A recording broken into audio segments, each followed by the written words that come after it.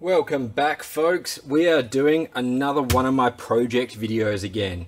Now I'm going to start alternating between my projects like this and like the AI powered smart humane animal trap and the normal SBC videos because I've got heaps more SBCs but I want to keep making stuff. I tinker, that's what I do. Also, it's, uh, oh, that was not smart. Um, it's a holiday season, it's bloody warm, it's 33 degrees in here right now, so I'm having this one.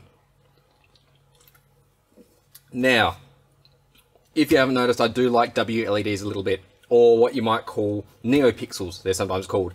Um, World Semi, uh, killing it. These might even have World Semis on there. I don't know. These are these were some panels that I got from um, MakerFabs, and they're a 16 by 16 addressable LED, uh, which are chainable. Um, but we'll get back to that. First of all, I've actually got some merch to give away, and I'm going to start throwing it in with pretty much every order from my shop. Link to the shop below or a card up there. Uh, I made it for me, and I made heaps of them. So I'm going to give them away. Hang out uh, till a bit later if you want to find out more. Now, I also want to thank PCBWay. They're sponsoring this as a project video and uh, helping me design what I want to make, which you'll see in a moment. Uh, PCBWay are really, really good as far as just PCB prototyping for stuff. All link below if you want five bucks off your first order and to support me. Um, they're also really good as far as their communication and customer service goes. They do PCB assembly, they do CNCing, um, uh, they can assist with your designs, all sorts of stuff. I'm going to put some pictures of all their stuff here. You're going to see some of their products that they've made, but they have done really well, and I can't thank them enough for supporting this channel, because between you and them, that's what makes this happen. Now, this is the original LED arrays I got from MakerFabs. I got six of them, but um, I toasted one real quick, which I think I showed in a previ previous video. And um, these have otherwise worked fine. I wish I had a bit more, but the issue I found is like there's no way to actually attach them together. Um, they do come with these cables, which I've got here, but the cables are kind of annoying. Um, they're, they're very limited integration. Like they, they're cheap, all right? They're effective but cheap, and they're a single-use sort of thing. They're not designed to be reused and bent and moved because you'll find that the LEDs actually start uh, delaminating from the board. So as a test, what I've done, uh, as I showed in my previous video, I've got one of my ESP32C3 risers here. These are in my shop too if you want to get some. There's a few left, so again, link below. I'll also link to the other video. I've just flashed it with a basic file, and now come across, we can plug in a 5 volt power supply, the, the micro USB, and plug this into the side, and whoop, if I don't stuff up the data line, we're off to the races with the PCBWay logo running across there at what I believe from memory in the code is the maximum FPS this can do. So they're bendy, they're hard to attach together, the input output lines could be improved, pixel density is not great, color brightness isn't great. There's a lot of things on this that I wanted to improve because I figure I'm going to use heaps of these NeoPixel style things using like FastLED or whatnot. I'll put the code to this below. It's designed for a 3x2 but it's quite easy to change for yourself. Just remember um, some of them go up, down, some go left, right. Like you, you've got to configure the code and FastLED or uh, NeoPixel, whatever module you're using to suit. So, moving on. Uh, I wanted to make a new design. So I'm going to show you here, cut to the computer, of this design that I've been working on. So some of my design principles were it had to be compact, I want it to be a bit smaller. I want it to be solid, not this flimsy crap. This is definitely good because you can conform these to some shapes if you want to mount them somewhere funky, but that's not for me. Uh, now there are other options out there like that as well. I also wanted them to be mountable though. I decided to use some WS2812B LEDs so we don't need any resistors in line like these have or anything like that. Uh, they've also got great specs, they're a little bit faster and I, there are some SY, can't remember the brand name, better LEDs, but the WS2812Bs, uh, 2812Bs are very cost effective. I also wanted to have uh, MCU mounts on them or SOC mounts and you'll see what I mean. Uh, at this point, I just have to say, if you've hung around this long, it's already four minutes into the video. Most of you nick off by this point, so don't forget to like and subscribe. Hit the bell if you want more notifications. Leave comments below if I've forgotten to explain everything, or I'm talking too fast or usual, or you just want to support me, because every bit of engagement is actually good for the YouTube, uh, YouTube algorithms. I am talking fast because I'm sweating and because there's a lot of content to get through. Now, back to the design. There was a lot of lessons learned in designing this. Uh, and I ended up going back to the PCB web, Way website because they've got like an online um, make a sort of store where you can share designs. And I'm going to be putting this design on their GitHub and Hackster, so all the codes going to be low. But I went and had a look at some other people's designs uh, and kind of learnt how they lay traces, uh, looked at some of the articles about current management because they've got some good FAQs there about, you know, the different thickness copper and whatnot. Um, and I'm, I'm definitely going to have some bugs, but I thought I'll go ahead and I'll order them.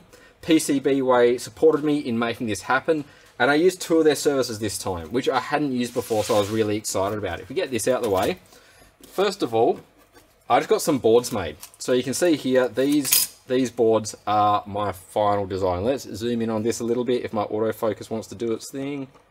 And you can see I've got my labels on there. I've got all my tracks laid underneath and that is ready to go. I've also got some little arrows that show you the order of the LEDs in case it's not intuitive or you don't look up the documentation. And then on the back, this is where the magic happens. You can put an STM32F103, you can put an ESP WROOM, you can put a Atmega 328P, or you couldn't, can put an RP2040, uh, which of course requires some flash. Uh, it's got your data and your data out as normal. It also has USB-C connections for your data in and data out, or it can be done entirely by these MCUs, along with their respective flashing pads. So you'll see there, the pins to flash the RP2040 there. Uh, I believe that's actually the USB breakout. You've got the ST-Link pins for, there for the STM32, and you've got your JTAG there and there. So I was really happy with this, how, how it turned out. And of course, I had to use their assembly service because I did not really want to solder so many of these on to start with. And I was fairly confident in this design. Uh, so those are looking great. We'll see them open in a moment. And I got all the supporting components, but of course I didn't get any uh, SOCs on the back because I have piles of those laying around.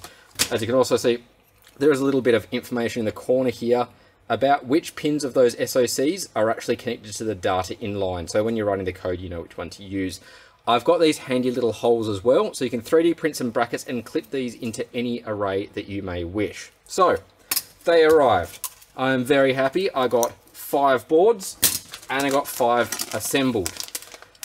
And then the bug started. Um, I thought I'll test it out. So if we, we move this out the way, and we'll go across to the first one here. So what I've got is one of those boards out of the bag. I've stuck some wires on it just in case. I did try the USB-C port, but I'm not sure if I've got something wrong there.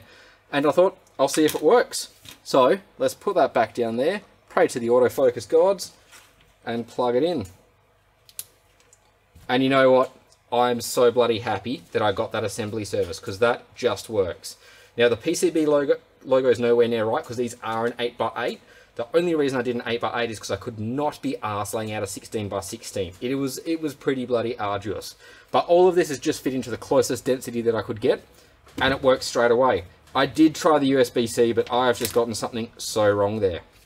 So I thought the next thing to try would be to put an STM32 chip on there. Uh, I've got quite a few of those F103, uh, what are they, C, uh, C6T8s or something like that, C8T6s, the ones with more than 2 meg or 2 meg or more flash. However, you might see the supporting components are a little bit brown. So I made my first mistake. Uh, you might see there that it says 5 volts. It's not. It should have been 3.3 and it should have been uh, 3.3 for the RP2040 as well. Only the... Uh, which one? It should have been 5 volt for the 328p from memory. So I'm going to have to go back and double check that and check uh, which lines I've ran where and fix the traces. However, it does at least work to start with. So if we plug them back in, we want to make sure that the D in and the D out also works. So if we plug this one in to here, we have that one flying along and it chews up to about 1.1 amp. Now with the resistors, the uh, well actually that's all powered through my riser module at the moment, but if you're using USB-C, I've configured it to draw hopefully up to 3 amps of current with the resistors on the data lines. And then if you're using these, I've designed the traces to support, I wrote it on there, is it? Mm, maximum 10 amp. Now you also see there is one other slight feature you might, if you're going to be using SOCs and you want to do high FPS, every four or five of these, you might want another SOC. So like if you're going to put a pile of ESPs on there, you could have them all join Wi-Fi and operate independently. So there's this DIN isolation, which means that the DIN line before it actually goes through to the LEDs is isolated by that zero ohm resistor. So let's just say this is the fifth board and you want a fresh SOC, you just probably even snap off that. And you're no longer taking the D in, but you're still going to get the power from it. So it's a little bit modular in that way. You can go for higher FPS by using multiple controllers, or you can probably do some other funky stuff. I'm all ears on what you come up with. So now we can chain them together. Now again, it's not gonna be exactly right because these aren't an 8x8, but it's a proof of concept and it actually works. Um, I'm incredibly happy with these. I love how good their assembly service is to the point of, um, you know, even in production, when they were soldering some of the components on, my service person emailed me and said, hey, we got some solder in the USB-C holes. Is that okay? And I was like, yeah, that's perfectly fine. I don't mind. I'll just heat it up and give it a good old smack uh, if need be. So really good communication from them. And they're, they're just beautiful. Um, they are they are a bit broken though. So I'm going to have to change them. I'm going to have to improve them. I've got to correct the 3.3 and the 5 volt lines. I also found the mistake that um, with the USB-C ports mounted like that, I've actually had to cut some of my USB-C cable away to make it fit and even cut some of the side where that capacitor is. So I need to move that capacitor slightly, but I need to rise these somehow. I'm not too sure, or maybe move them to the edge of the board. Um, I'll put these schematics up on GitHub, as I said, and I would appreciate any of your feedback, whether you want to engage there in the PCBWay store or on Hackster or just in the comments below or on Reddit now. I've got a subreddit. Uh, it's reddit.com slash r slash Platima. All my cooking and my tinkering videos go there. Uh, but that's it so far. I've considered uh, going for an ESP32 instead of an ESP WROOM, but these are more than capable and they're very cost effective, so I'm going to stick with that format for now. I also considered the Atmega 32U4 because it's got the USB integrator. It's a bit newer, but again, the 328Ps are just ubiquitous. Everyone's got one somewhere if they tinker with SoCs or MCUs. Pull it off an Arduino Nano Pro or knockoff or just order them on eBay. Um, so they're, they're my immediate steps. Fix the 5 and 3 volt lines, fix the USB-C uh, connections, and the other thing I've said and I've forgotten. I am otherwise happy with this design. Everything just fits in and I'll 3D print or design, or you can design some of these clips. I've done them exactly 10 mil in from each edge, and I think that's a 2 mil hole, but you'll see that in the design. Uh, the giveaway though. The giveaway are these rulers. So I've made a shorts on it before, but another thing, ah, get off it. Another thing I got from PCBWay at the same time were these rulers that just, it's, it's your standard PCB ruler. I have added some unique things on it though. So it's designed to be hung up or put on a keychain if need be. It's only a mil thick, so it's quite light. It's got most of your standard SMD sizes, along with some colloquialisms like the other names that they call them. A link to my shop where these will be included with every order until I run out, and I've got about 50. I've also included capacitance conversions for um, nano, pico, micro, and farad. Ohm's law and some conversion between metric and imperial. And you can see I've also noted one and two freedom units on there. Uh, a few little trace widths, and as mentioned, this is the gift version. So if you get one of these and you paid for it, you got ripped off. These are going to be giveaways. Um, I've still got three of these packaged up. I'm going to put two of them in my store for whoever wants to buy them at cost and I'm going to put three of these boards. That's because I keep two of everything I make for archival purposes. So I'm going to put three blank boards and two assembled modules in my shop below, and every order will get one of these rulers included as well. I'll do part two when I get onto part two. It's holiday season, so it's probably going to take a little while, but I'd love your feedback. I'm very excited about these. Cool, they get a bit warm, um, but I love NeoPixels too. These are a great invention that you can use for so many purposes, even just studio lighting. So let me know. Stay safe, drink plenty, not if you're underage or, you know, without parent supervision. I don't know, whatever the rules are around that in your country, but have fun, keep tinkering, and I'll see you guys next time. Oh yeah, of course, I got a stencil made too because applying that solder paste would be a nightmare. Um, not giving that away though, that's mine. Order your own if you want one. Cheers.